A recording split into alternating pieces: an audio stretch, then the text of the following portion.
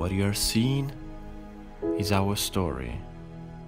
Curiosity keeps leading us down new paths. Traveling is our escape into freedom, where every day becomes a new adventure. Nowadays, the real luxury is having the opportunity to choose. With nobody to answer to but your own intuition, we left all the comforts of our past life behind.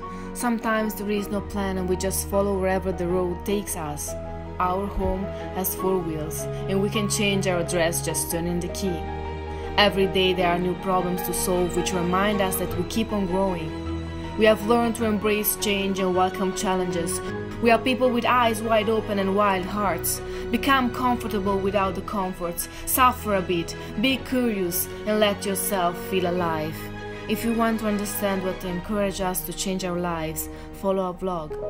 Leave everything and wander.